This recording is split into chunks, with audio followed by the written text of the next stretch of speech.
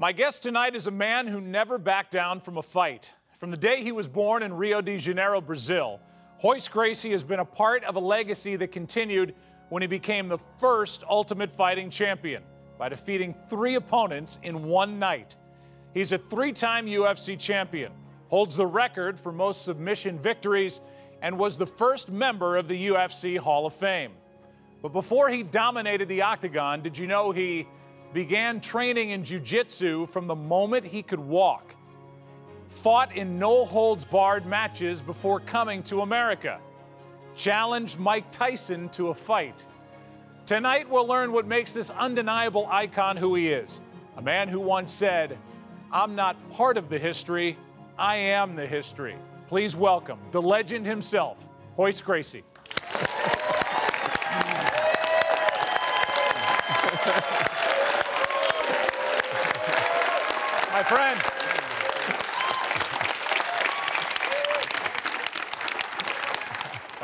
Standing O for Royce Gracie. That feels good, right? I'm right at home. You're oh God, come on.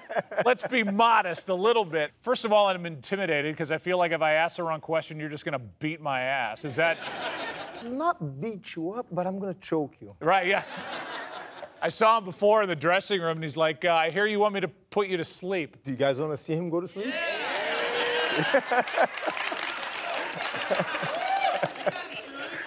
You guys suck. Thought you were my friends. Uh, born in Rio de Janeiro in 1966, the seventh of nine, but the youngest boy.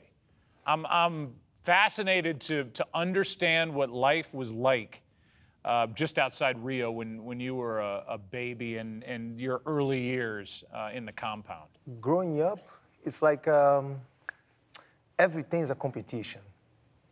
Having that big of a family, my uncle had 21 kids, 11 boys, 10 girls. So my father had nine. So everything turns into competition. I said in the introduction that you know you were you were mixing it up and you know training when you were learning how to walk. I mean, literally, you and your brothers, if you had an issue, you went to the mats, right? We sometimes we didn't make it to the mats. sometimes we did not leave the living room. Right. I, I know your father made it well known, and your brothers talk about it a lot. You weren't forced into it. You were born into it, and you had to make the decision to go into it. Tell me when that was made for you or by you. I mean, being a Gracie, it can be a bless or it can be a curse. You have a last name that's very um, powerful. It's like being Mike Tyson's son. Hey, your father's the greatest boxer, but can you box? So my father always said, you have to know. You don't have to do it, but you have to know how to defend yourself. I want to hear about your dad, and I want to I want you to tell me how he started the whole Gracie Jiu Jitsu. I know it wasn't just him, but he and his brother, and, and what, what happened when he finally got that chance to teach the class. My father couldn't do it. He was too small. So the Japanese that met my grandfather taught my uncles the art of jiu-jitsu. My father learned by watching. Couldn't do it, so sat down watched my uncles teach class, learned, and then teach classes all day. My uncle was late for a class one day. My father jumped in and told the student, I'll teach you. While he was watching, he didn't create a new art. He just added leverage into the moves, made it easier so he could do it. So he taught the student a class. By the time my uncle arrived, hey, I'm sorry, I'll replace the class. The student said, if you don't mind, from now on, I would like to take class with him, with Helio Gracie. That's when my uncles are like, hold on, what did you do? So he didn't invent the- wheel, he didn't invent the car. What he invented was the jack. So with one hand, he put the jack, lift the car up. One hand, he can change. He, he invented the leverage. It's important to, to understate again, though, or underline that he was a frail man at this time. And what blew everybody's mind was that this guy who was weaker than his brothers, because of that leverage, could really take down anybody. There is always going to be somebody bigger and stronger and faster than you out there. So I can't rely on speed or strength. And then became a lot of people thought for a long time And some still think that the Gracies are arrogant. They fight because they want to prove that their style is the best. No, it became a quest for my family. So how can I teach something? How could my father teach, my uncles teach, without proving? So that's when they started, okay, my stuff is good, but how would this really work in a real life situation? And start challenging other styles, because karate guys, boxers, kickboxers, oh, I can break a brick wall with a punch. Okay, you do your thing, I'll do my thing. Let's do it. Simple as that. I, I if, did you get a lot of alone time with your dad? I mean, I, he had, you know, he had the nine kids. You're the youngest of seven brothers. Did you get a moment where you, you had him to yourself? You know what I mean? And, and, and what, what did he teach you specifically? My father's teaching, it was not something that you sit down and you write and you read and you teach. He would teach by example on anything he'll make it easy. He will try to find the easy way to do it. That, that's, that's what that, that runs throughout the whole thing. It's the, the quickest, easiest, most, you know, most cut down way of doing something. That's what you're trying to do, even inside the octagon. Yes, it's uh, on anything from digging a hole. You digging a hole, he'll come over and say, excuse me, give me a shovel, let me do it. He can't stand by and watch you do it he would be stepping ahead and showing you how to do it the whole time. But he taught the brothers, you and your brothers, to be teachers. We not, we did not get, we didn't get brought up to fight. We got raised to teach. With teachers, like I have four kids at home. My little girl is ten, and we're just in a class, and I told the guys, watch her teach the little kids. I never taught her, hey, you do this, you do that. No, it's just by watching we're big believers on that. And, and, that with your father, Helio, is, is how he initially learned just by sitting over to the side and watching these classes that he eventually taught. So I, am just, I'm curious just what life was like around the compound. Like, are, I know you guys are constantly working on your craft, but you know, where's school in this? And are you you're leaving the compound to go to school? Are you homeschooled? Is there juice time with the we, Gracie boys? We didn't let school interfere with our education. I like that. I like the way you say that. Here it is. I mean, the, the, this is the compound outside of Rio. I, I know this about reading about you. Your mother, Vera, was tough too, right? Very tough. really? Tougher than my father. No. My father used to say, first UFC, first fight, do not beat your opponent. Don't I don't want to, don't make them bleed. Use technique only, sub, submissions only. He walked away. My mother was like, son, forget, he's old. I want to see some blood. it's like, Real? My mother's tough. That's awesome. Forget. Don't be nice. Uh, uh. What'd you dream about doing as a kid? I want to fight. Because I saw my brothers doing my older brothers, cousins. And it's like, guys, come on, give me a chance. Let me do it. Nah, you're too young. Really? but he's 15 and he's doing it. He was doing it when he was 14. And like, yeah, you're not good enough. What? So they didn't it's think a, you were good enough? No, no, it's a way to push it. It's a mental game. And there was always a competition inside your family to be the family champion, right? It's an unspoken competition, yes. It's not something that, okay, today we're going to decide. No, it's through time. We know. We know who is the one. Really? Yes. Let's just give people a sense of what I'm talking about uh, with, with you guys when you were young. Let's take a watch.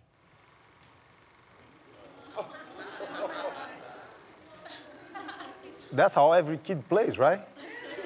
Yeah. At home on the beach. That's how we play. wow. First of all, it's adorable.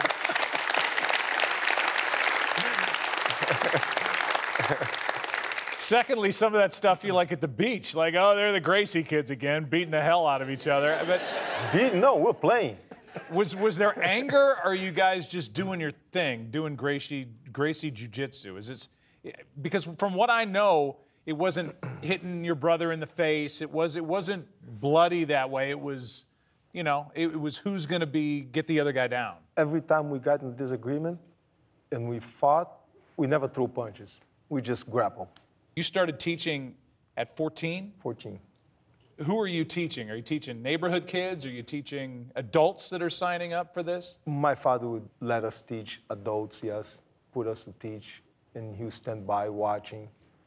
And my brothers would stand by watching and just group classes, adults group class. Sometimes we actually, a couple times I talked to my father. It's like, how can that be? I'm the youngest one on that class and I'm teaching higher ranks than me. I wasn't even black belt then and I'm already teaching a class with the black belts, but I had so much knowledge. I just, at 14, my brothers, not just myself, my brothers too, we were not black belts yet, and, but we were teaching brown belts, black belts in the art, and, and they're like, hey, you know this stuff. You just don't have the age yet. In 1978, your brother Rorion comes to the United States. Yes. He'd been here a couple times. I talked to him. But when he came here, was the idea to come here and take Gracie Jiu Jitsu to the United States of America? Was that, was that the objective? I think first was to visit, and then when he came over here the second time, and after that, was like, okay, I gotta go teach these people. I gotta teach them. When Rorion, his brother, comes here, he's teaching out of his garage. You lived above that garage that you're talking about. Yes. And you lived in your brother's house and really came here not only to learn and teach and but you were babysitting his kids. I came to babysit. So you you came to the United States to babysit. Yeah, pretty much. so you come here to do that and I'm assuming though deeper in your mind you're thinking Gracie Jiu Jitsu, my career. It's I remember arriving in America, it was like, wow, people don't know who my father is people don't know the art of Gracie Jiu-Jitsu. Was that that it's, was surprising, right? It's imagine Michael Jordan going to Brazil and people don't know who he is. It's like, how can that be? Your dad was that big. That big. That you just say the name Gracie, and people know exactly what you're talking about. Those two former presidents took class with my father. So you get here and you're saying Gracie, and people are like, you know, what? I remember arriving at the airport or one time and saying, thinking, one day I'm going to pass by and they're all going to ask for my autograph and my picture. How old were you then? About 19. So you're 19 years old and you think, one day I'm going to be so famous that they're going to ask for my autograph, my picture. Where does that drive come from? Was there always a desire for you being the youngest of seven boys, being one of the younger ones of the 19 total boys with your cousins and trying to stand out, trying to make your own name, trying to get people to look at you? Maybe. Maybe just it's inside of me. You tell me what's impossible and I'll prove you wrong. Yeah. Well. Did you think it was possible for you to become famous and have everybody want your autograph by being a fighter, by being a Gracie Jiu Jitsu master here in the United States? Is that how you wanted to have people ask you for your autograph? Oh, yes. I saw my, I, I come from a family, I see my father. I seen that happen to him. So it's possible. When I first got here, Rorion was teaching in the garage. So I, that's how I learned how to speak English a little bit. So it was like three words, stop like this. And I would be able to teach a class, stop like this, and I show the move. and the guys were like, okay. That's amazing.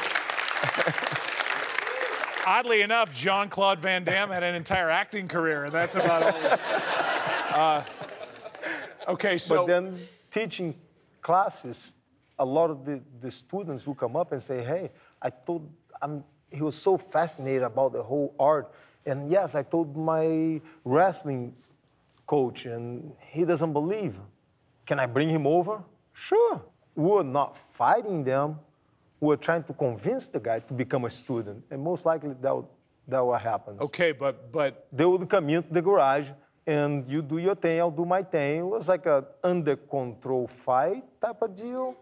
And but I was I couldn't beat the guys up, or Rorion couldn't beat them up because we were trying to gain another student. So you're trying to gently get them to submit. Yes. These are vale tudo fights. These are no rules, restrictions, whatever. You walk in, I walk in, and may the best man win. Pretty much. I give this example of a wrestler, but if there was a karate guy, he's going to be trying to throw punches. So I'll get in a clinch, or Rorion would get in a clinch, take him down, and would not hit the guy. It would convince him, nicely choke him. it was nice. Nicely choked. I, I, I do want to give the audience here and, and those at home uh, a sense of what we're talking about with these challenge fights that Royce was doing as a young man here in the States. This Gung Fu expert, wearing yellow trunks, has 15 years of training and claimed to be undefeated. At 180 pounds, he had a 15 pound advantage over my brother Royce. Royce is determined to close the gap and take the fight to the ground. At this point, Royce could easily apply a chokehold and finish the fight, but he elected not to. A jiu-jitsu fighter becomes so confident in his ability to handle any aspect of a fight that he's able to maintain a calm and rational attitude. Royce has the opportunity to seriously hurt his opponent, but instead, he only slaps him, a humane way to demonstrate the superiority of our unique system. That's great. But instead, he only slaps him. Is that Rorion talking? Yes. I could have been me, could have been throwing elbows at his face. No, I know. But you make go, it come bloody and just, uh, just a couple slaps on his face. You want these people to walk away saying, you got to see this place in the South Bay. You got you got to get whoever you have in your class and come see. I mean, this is word of mouth at its finest. Yes. I mean, that was already at the Gracie Academy. But before we opened up the Gracie Academy, just in the garage teaching, we were teaching class from 7 o'clock in the morning. Every half an hour, there was a class until about 12.30, and then break until 3, start again from 3 until 8 o'clock at night with about 150 students on a waiting list. Every half an hour, there was a private lesson. With 150 students on a waiting list, the house looked like a crack house. Yeah. People in and out all day long. Part of this whole Gracie Jiu Jitsu is lifestyle, too, right? It's not just style of fighting, it's diet, it's, you know, the mind, it's, it's, it's a streamlining, even sex. I mean, you're, you're supposed to only have sex to procreate. I, am not, this isn't a trial. you're not on trial here. Okay, okay. My father used to say, you should only have a relationship with a woman six months before, you should not have it six months before a fight. If you got a fight, six months before, you can't have a relationship with a woman. Okay. Time yeah. out, father. Right. Every fight we had this argument. I understand that. I understand. Builds your testosterone, you get angry, yes. But let's assume that you and Uncle Carlos, I ask him, only fought twice a year. How did the family get so big again? Right. you had nine kids. Uncle Carlos had 21.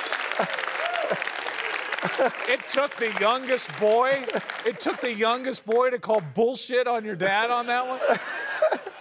I didn't say that, but he would just tell me, "Do what I'm saying." Right. It's like, yeah, uh huh, uh huh, uh huh. I would called him out. Yeah. so okay, but it's, it is a lifestyle. I am a full-time professional athlete.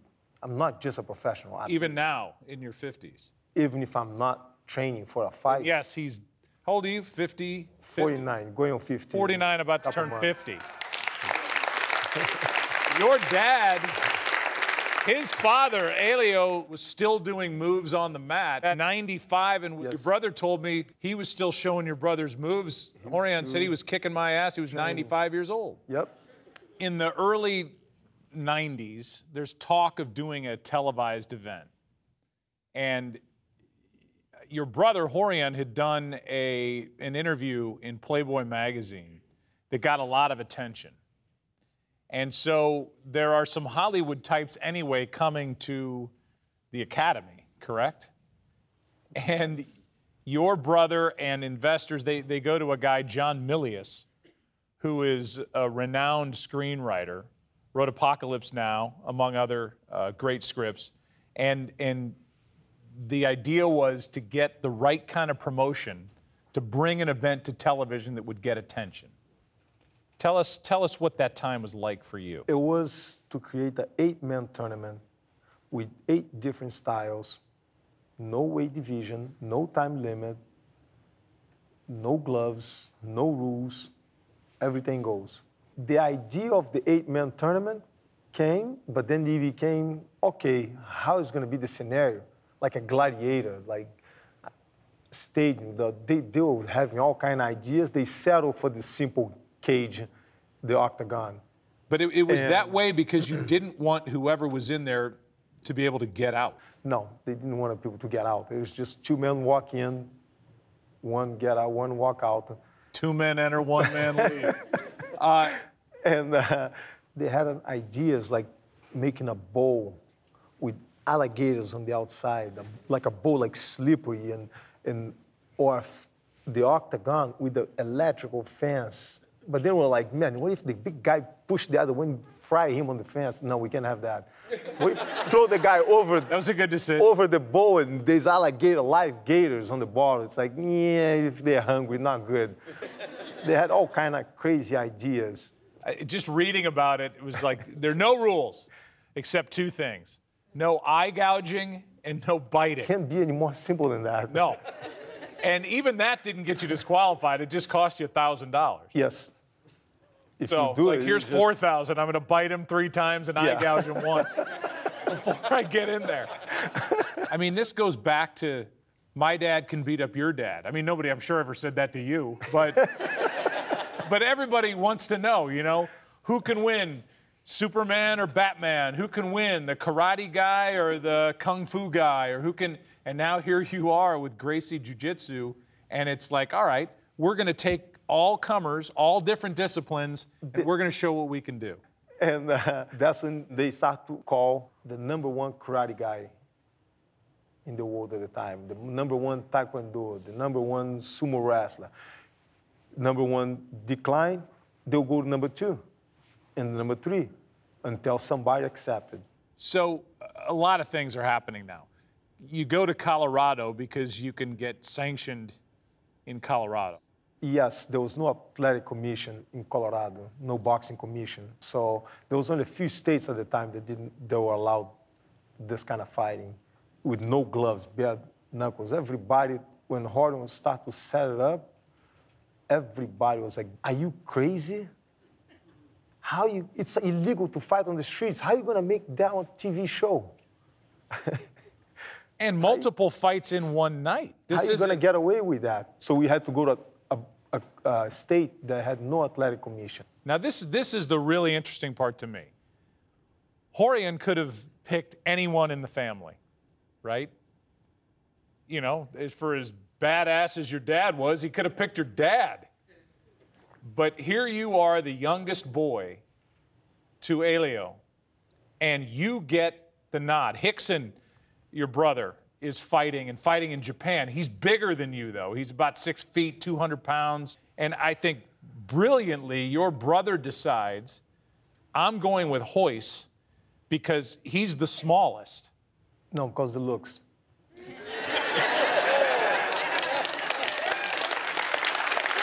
I like it. Okay.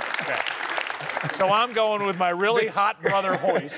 because those brothers that uh, you, those are brothers. One, Royler, he's a year older than me, but he's smaller, Okay. so he wasn't the smallest. Okay, but fair enough. He tabs you. You're the guy. Because he wants to prove that Gracie Jiu Jitsu, it doesn't matter who's coming at you, you're good enough with your training to beat anybody. The other brothers, little heavier, little smaller, could have done the same thing, but get a brother or a cousin who is bigger and stronger might not impress everybody. Yeah, he won. He beat a guy 220 pounds, but look at him. He's 205 himself. He's built by the gods.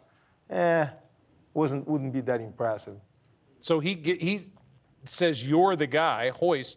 Was Rickson mad that it wasn't him? I don't know, but he trained me. He trained you. For Maybe he was because he tried to beat me up during training. I No, he was not. He, was, was not. not. but this is your moment, right? I mean, they're starting the UFC. He's bringing Milius in to, to make this a spectacle. And you get the opportunity, and there are investors with your brother, Rorion. And, and I'm, I'm wondering, were they on board with you being the one to represent Gracie Jiu Jitsu and, and step into that octagon? I have no idea. I assume nobody tried to argue with him or my father because my father was involved too. So Did you feel pressure knowing that the minute you stepped into that octagon, you represented decades of Gracie family members and the Gracie Jiu Jitsu way? Did you feel that? if I would have put pressure on myself, I probably wouldn't walk out of the locker room. I was asleep before the fight. my brother, I'm, I'm not kidding, my brother had to come in and wake me up nicely. Tickle my head, like, brother. Oh, I would wake you up nicely too. Oh, you have to, because so he doesn't Just don't a make gentle sudden kiss on yeah, your it's like, temple. brother, it's time to get up. We need to warm up. The very first UFC one, you were asleep inside the locker room. Your brother gently wakes you up and says it's time to go. Time to warm up. Let's go. We gotta warm up. And your first fight is the first of three. That was a boxer. I think he was ranked number eight at the time. He came in, had one glove because he thought he was going to hit me so much, he didn't want to break his hand. So he, that's why he wore one glove. One hand to grab, the other one to punch me so many times. As the uh, Brazilians always say, if you have a good clinch, you have good jiu-jitsu. I think there's a little bit too much strategy. They're going to have to do something pretty soon because I think Art is a little bit worried here. There it is. There's There it is. and he's on the ground. Now we're watching Royce take the mount position. And that's exactly where the jiu-jitsu man wants to be. Take a break and take it off. Whoop, he just bowed out. He just tapped out. Just tapped out. Did he? Oh, the towel just got thrown in as well. That's amazing. It doesn't take much.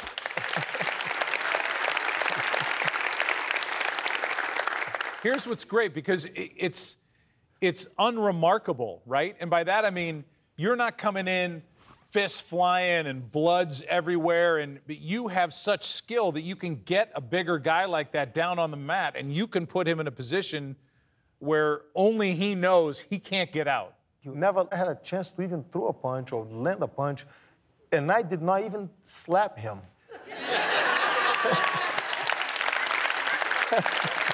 Okay, so you're through the boxer. You're through the boxer. This is all in the same night. Second fight is Ken Shamrock, who is a wrestler. Yes. Um, he came from Japan. He used to fight. He's a wrestler, kickboxing mix.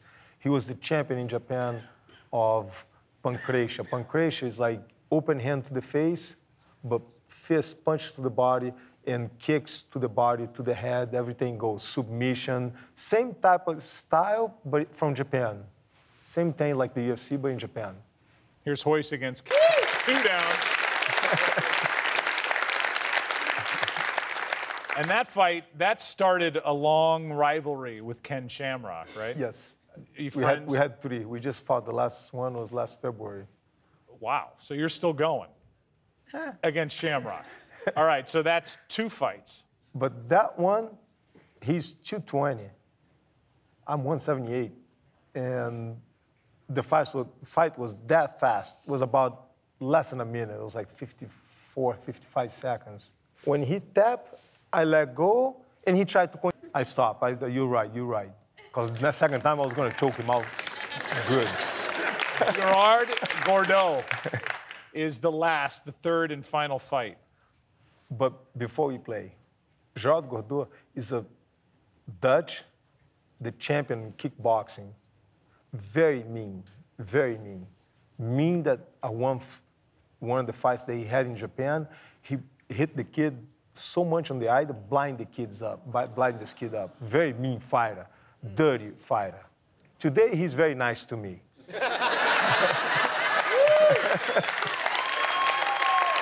Maybe this had something to do with it. Very important There it is. What satisfaction did you feel winning UFC 1? Representing your family, getting this done, going through those three fighters, different disciplines. I was just doing what I love. Oh, bullshit. Come on. The last one, he was tapping extra, asking to stop extra, because as soon as I took him down, I got on top of him, he took a bite of my ear. So I put it out, and I was like, you cheating. The only thing not allowed in the fight is eye gouging, biting. And you had to bite, come on. So I look at him, I throw a couple headbutts. You can barely notice. There's a couple headbutts. When he turned around, when I got the choke, okay, you tried to cheat. Now I'm going to hold a little longer. That's why he was desperate, tapping. So you're going to tell me, you're going to sit there in front of the 40,000 people that are in this arena right now, and you're going to say you took no satisfaction out of winning that? Winning UFC 1? It was awesome. It's great. Yeah, we go to the locker room. Yeah, woohoo. Let's go home. Let's go to bed. It's been six months, remember? Oh, fair enough. How'd your father feel? How proud of you was he? Very proud, I assume, but we keep it very cool. Like, um, my father was against celebration. Celebrate what? You're getting paid to do this. You train for this. Oh my God, I can't believe I won. Really? Did you train to lose? if I lose, there's more of a reaction than when I win. I lost a couple times. And we thought about it, and it's like, what went wrong? Now we're gonna sit down and think. Everything else, when I win, this it was perfect. So was- in your- this everything was on schedule. Everything there was the train was on track. There was no derail. Once you win UFC 1 and it's been bought 90,000 times on pay per view, I would imagine the word now is spreading like wildfire. The Gracie Academy went from here to here, double the size. And then after UFC 2, we double again upstairs. UFC 2 was four fights in one night. Are you preparing differently? Are you did that was that ever in your head that this is going to be a long night if I keep when I keep making it through all these different fights? Yeah, I mean, you have to prepare for 16 different opponents, but you don't know who you're fighting until a day or two before. Well, yeah, and and that was a change because wasn't it after the first UFC one, people charged well, his brother stacked the deck. Rorion wanted him to fight certain guys, and that's when they said, okay, well, we're just going to do a blind draw. Even the first one was a pull out of the hat. But what people don't notice that the brackets were made like this. I was the last one. Just happened that I was the last fight of the bracket. Same thing on the 16-man tournament. I was the last fight of the bracket. It happened. So this guy fight, the winner rest. This guy fight, the winner rest. This guy fight, winner rest. I fight, I win, I rest. But then this fight comes much faster because this guy's fight, and then it's my fight. So I have one fight rest. So less downtime. That I told my brother, I'm tired. After the fourth one, I was like, man, that was a little bit too. Four is three, it's okay. Four, I got tired. This is not a good position for Patrick to be in. How does Patrick get out of this, Ben? It's very different. He has to hook his foot on Royce's foot and then turn him over. He's taking a pounding. Yes, he is. Taking a pounding. This is the towel is in already. Patrick will not like this. He will not like this. He's been cut. Hoyce is the ruler. He is the greatest champion. Now we're going into UFC three, and then it changed back, right? How many fights? Three fights. Three fights. yeah, That's what I'm saying. back- It- okay, it, changed changed back back, to to yes. three fights. On the way into the Kimo Leopoldo fight, there is some serious pageantry involved. Let's take a look at what that looked like. And Kimo's here on, on the cross. Never seen anything quite like this before. Kimo is the type of fighter we understand. Is where he got his money and he got his reputation fighting in the streets, like Charles Bronson in hard times. When I say he goes around the world six months of the year spreading the word, this is what I mean. He is definitely on a mission. Okay, so that's subtle, walking in with a cross on his back. Um, but by this time, fighters are a little bigger, a little nastier, and you're well known. You're UFC 1, UFC 2 champion. Are you starting to get a sense that some of these guys are training and, and you're going to have to start defending, maybe not with Kimo, but you're going to have to start defending what you're teaching? Right? I mean, this, it's the greatest compliment you can be paid, but now the fighting world's getting hip to what you're doing. Everybody from the first UFC, the people that fought, including Gerard Gordeau, he admitted that to me. He's like, after I lost to you, I came back to Holland, and I was like, we got to learn this stuff. We had to learn. Let's show the fight against Kimo Leopold. Kimo went to school on Gracie Jiu-Jitsu. The things he was doing, Ben, only by listening to you talk and by watching both these tournaments as Royce swims right by this desk, we don't even attempt an interview at I this mean, point. you are wiped out. I was exhausted. I mean, you literally are being carried out of that. Yep. And and you know, 15 minutes later, I had to come back. I was just going to Less say, than 15. you know, is in your corner knows or whatever, your group knows that as they're dragging you back there, you're about to turn around and go again. Yep. So you come back out and tell me what happens. So between I won my fight, by the time I went to the locker room that I came back out, it was like less than 15 minutes. And you were Because the next fight happened fast and I had to come back out.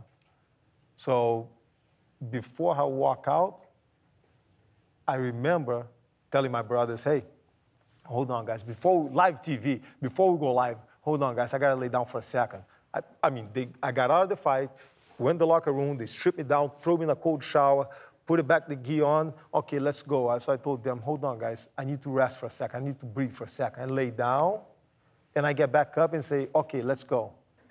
When I walk out, guy in the cage, they lock the cage, referee comes over, everything shuts down in front of me, goes black.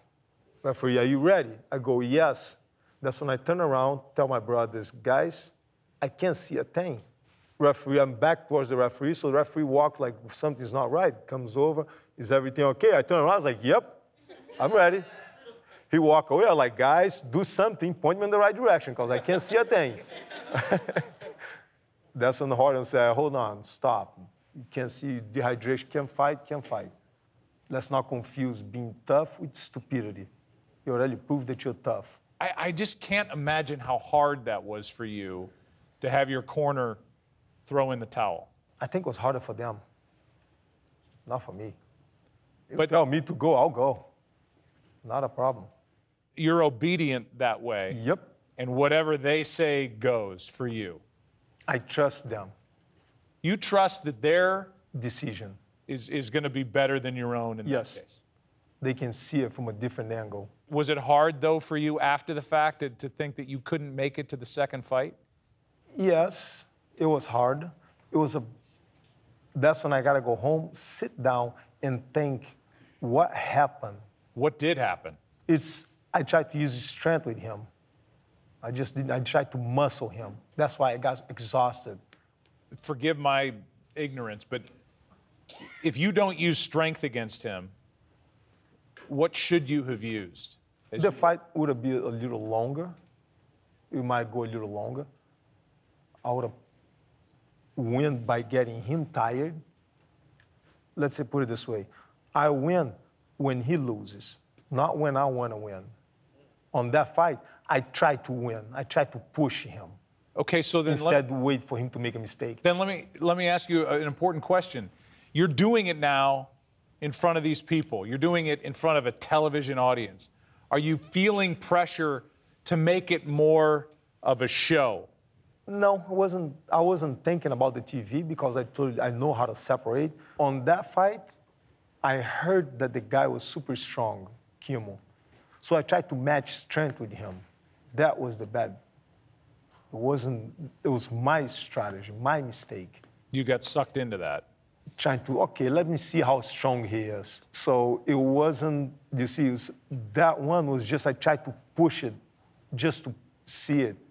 For UFC 4, John McCain gets involved. He's a big boxing fan. And he tabs UFC human cockfighting and tries to get it banned. I think there are 36 states that, that banned that style. What does that say to you? Because the popularity was growing and growing and getting bigger, and, and then somebody calls it human cockfighting. Somebody knows who I am. I look at the other side. The glass is half full for me, not half empty. so UFC 4, you're coming off that. You have to move venues because of that, because of the John McCain influence. And uh, but now here you are coming off UFC 3. You couldn't make it to the second fight. Your you, your guys had to throw the towel in. How are you getting ready differently, or are you for UFC 4? Same thing. Just get ready for everybody. Random. I end up doing the finals with Dan Severn. That was 265, 265 pounds, All-American wrestler. So he's, uh, I mean, he's basically got you by a little less than 100 pounds. Yeah. Do, do you get an idea? Can you explain why people like watching this style fighting so much? Do you know? Do you ever think about that? Curiosity. People wants to know the same way they play fantasy football. Yeah. They try to match up and people have the curiosity. And, and people have, you know, my guy can beat your guy. That's, that's what it is? Simple as that. For us, fighters, not just now it's beyond my family. It's for the other fighters I talk to. It's a quest for them. I want to be the champion. I want to see if I can be the best fighter in the world. It's a but, quest. It became a quest for everybody. UFC 4, final fight of three. Dan Severn. It is the revenge of the Warriors. The laws of the octagon. No rounds, no time limit, no way out. Severn might be in trouble now. 16 minutes almost already. Trying to pull the head out. Gracie maneuvering, whatever he can do to stay in it. I got him in a choke. Oh! He choked him out. He choked him out. Talk to me. Unbelievable. Gracie amazingly hung in there. Gracie Wade. Oh, unbelievable. Unbelievable. What, first of all, what, what kind of choke was that? We call it triangle choke, is with the legs around his neck. So your legs wanna, are around. You want me to show you? No, I don't. they do. Um, That's love. Oh, yeah, it is. How crazy is it that UFC 4, you had, it was going to be a two hour show. And this show went two minutes over the two hours.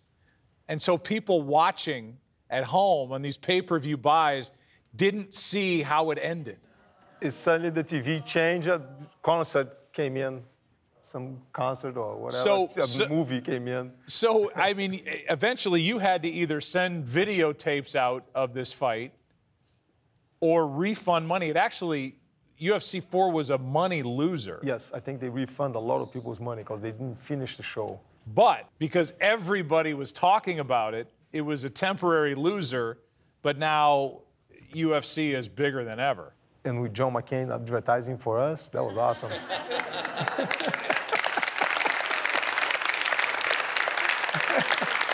UFC 5, you have a stand-alone event and a fight with Ken Shamrock. Yes. So this is different than one, two, three, and four. And, and this is not what was laid out by the Gracie family, by Rorion, your brother, by you when you got involved. This is just one-on-one, and that's that. How was that sold to you? I think they said the way Rorion put it is we're going to make the tournament. The winner of the tournament can fight the winner of the super fight, they called. So it became, okay, in order for you to fight the super fight, you have to win the tournament. So they picked Ken Shamrock and I. A lot of the fighters were upset because Ken Shamrock never won a tournament. Why is, was he picked to fight the super fight with me? Guys like Dan Severn was like, come on, really? He was, a lot of the guys were against that. But it seems like now rules are coming in where it used to be fighting on television, it's now turning into a TV show with fighting in it. They start to add time limit. There was uh, no gloves still, but they put the time limit on it. And that, that really doesn't work for Gracie Jiu Jitsu. It can, but like we've already established, if, if you want to fight for an hour and a half, eventually you're going to win, but but that's not what you were doing anymore. What happened is now there's a clock. So he came in to survive. The, it was a 30 minute, um, they put a 30 minute cap on the fight, and then they add the six minutes overtime. So if nobody wins, it's considered to be a draw. So he just came in, got on top of me, and just hold me down for pretty much 36 minutes. That's all he's trying to do When- is is beat the clock. The first 30 minutes, he sat on top of me, hold me down. Then the referee, okay, 30 minutes later, didn't do anything. Just stood there, just hold me down. Just even his father was yelling at him, do something. What he came over here for? To hold him down? And he just stood there, just like, yep. The referee break us apart. He hit me once, he square on the eye. It was good because it proved that I can take a punch. But that was it, the whole fight. So it was considered to be a draw. So, where is this with you and with your brother, Rorion? the TV company, the SEG, was changing the rules, and now we have to become a show, and the rules, and people pressing them. So that's when Rorion decided to step out. But so did you. Yes, I'm loyal. Was the business side of the UFC, now that your brother's out of it, do you ever look back on that and think, you know, he started it, I was the champion. You know, at one point, it sold for $2 million. And here we sit, as you and I talk in 2016, it was sold for $4 billion. Let me say that again. It was sold for $4 billion. Yep. Do you, does your family look back and think, if we had just Kept a little bit. just a little bit, Yeah. do you? well, I was on the honor. I mean, I didn't own the show. I was just a fighter. I never asked him that question. I don't want to ask him that question. He might get mad at me, but There's got to be. I mean, that's But- just human nature, right? yes.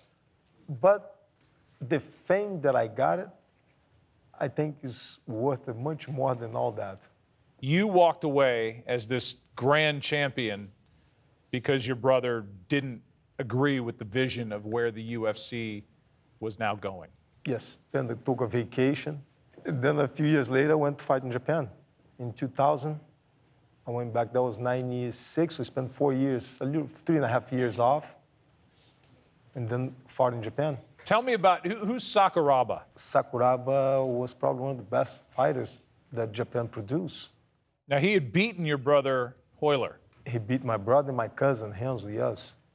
So when you fight in that case, I would imagine you're bringing the whole Gracie group with you. You're doing this for Gracie Jiu Jitsu. He's beaten two of your cousins, he's beaten your brother. Let's get him for everybody. Let's do it. We fought twice. The first fight, he kicked around the shin. He broke my, he cracked my shin and uh, tear the ligaments. So I remember sitting down. I told my brother, my father, I can get up, but I can't walk. You tell me what to do. You know, what's wrong? I was like, I can't walk. And they're like, time out, stop right there. So that was an hour and 45 minutes. An hour and 45 minutes. But then we had a rematch, and I beat him in 15. What was different? what was different for you against Sakuraba the second time? strategy. It's a strategy game. It's knowing your opponent. So you know what they're going to do before they do it. You're looking at tendencies like like in football. I don't know. I mean, Yes. they're looking offense, defensive linemen are looking at, at where a foot is placed Yes. or if there's a twitch or Yes. you're looking at all that. Everything. And put my brother Royler and I together. So far, we've been pretty accurate. Even the ones that I lost, I knew what to do. I'm the one who didn't show up. I wasn't present. The quote on the wall is I'm not part of the history, I am the history. There's such pride in you. There's such pride in the Gracie family, such pride in Gracie Jiu Jitsu. What does that quote say to you as you see that sitting there on the wall? That's me. You're the one. I'm the one. Without you, without your older brother, I mean, there's no UFC today. That wouldn't be without my father. Without your father. Without the quest that he had on trying to find out which style of martial art is the best, this wouldn't be around. 2009, you lost your father, Helio. What was that like to go through that with this man who reinvented what jiu-jitsu was all about, who, who brought this whole leverage portion into it, who, who directed all these boys, and what was that like? We understand that. It's hard, but we grow up, of course, through him understanding that. So to me, he just took a vacation. So you, you don't have any closure, as they say, on that. He's just somewhere. He's, some, he's around. He's traveling. He's you- in Hawaii. Do you get the sense when you when you're in the octagon, or can you still hear him, at least in your mind, giving you direction when you're when you're in there in a fight? More, not giving directions, but what would he do? How would he make decisions on not just doing fighting, but on everything? How would he do it? He was very much into common sense. Never went to school, so he was very much very knowledgeable, but just a lot of common sense. How how were things with the family today? Good. I get along with most of them. We're a big family. I mean, so there's always one or another. There's always picking and, yep. It's it's hard. It's hard because everybody wants to be, but Only one can. One gotta somebody gotta do it.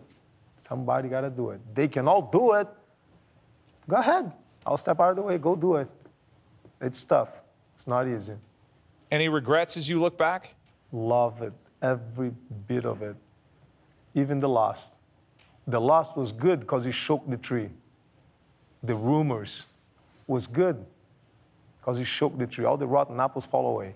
Do you want your kids to fight? Is this something that's being handed down? Yes, I do. My 19's dying to get, wants to get in there tomorrow. I'm the one holding him back. I'm telling him, don't. Wait three, four, three more years, four more years. Now wait. Now that's not fair. Why? You were fighting when you were like in a diaper, and and your your son can't fight. He's 19. You're saying two or three more years. By that point, you were a veteran. You were you came No. here were fighting in challenge matches. No, I was challenge matches one thing. He wants to fight pro. My first pro fight, I was 26. He's So- only 19. He can wait a little bit. I'll wait. He can wait. Does he take? Would he take a challenge match? Oh yeah, Has he taken a challenge match? yeah. How'd he do? Good. Did you challenge him? Who challenged? him? What what dumb kid challenged him? He trains kickboxing and he trains jiu-jitsu. So there's always a new student that come in and oh, you're Royce Gracie's son. Let's go. And then the next sound you hear is Yeah. that. Where do you see this going with with mixed martial arts? And where do you see the? Are you a fan of the UFC today? Do you watch? I'm a big fan of a good match. What do you think of women fighting in the UFC? Are you a fan of that? Nope, I'm not a big fan of it. I like the f- woman feminine. I don't like to get home and get beat up. It's like, but hey, it's a free count. They can do whatever they want. But I'm not a big fan. Last thing I'll ask you is what's next? What, what's next for you? I ask that of everybody that sits in that chair. I'm living life. I'm raising my kids, traveling the world, teaching all over. including teaching law enforcement. A lot of army, law enforcement. Yep, I'm a big into law enforcement. Big supporter. All right, now I'm going to preface what I'm about to do with a disclaimer. If you don't like these questions, do not choke me. Okay? We end with fun questions. Okay. Yeah. Here are fun questions. They're really fun. Would you rather be able to breathe underwater or fly through the air? I would fly because I travel a lot. Would you rather be stuck on an island alone or with someone who never stops talking? hey, Royce, how you doing, Royce? I'll choke you out. I'll take care of that problem. That problem I'll solve. That's easy. Alone, I'll be really lonely.